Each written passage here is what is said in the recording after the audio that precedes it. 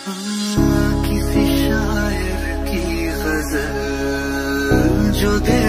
को सुकून के पल